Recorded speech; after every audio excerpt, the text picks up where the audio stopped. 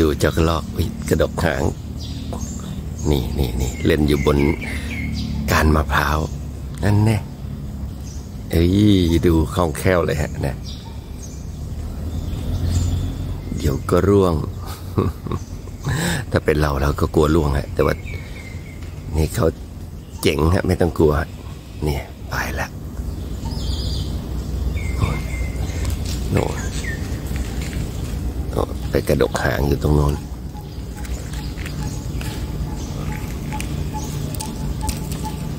ก็คง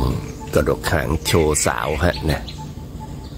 เรียกร้องความสนใจประมาณนั้น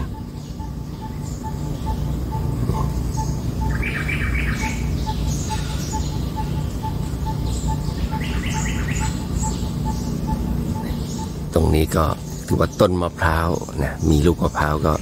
เป็นอาหารชั้นยอดให้เขาอีกอย่างอืมโน่นโน่นตายไปตายมา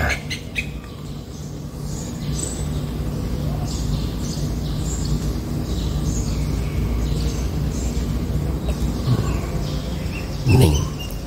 นิ่งสงบ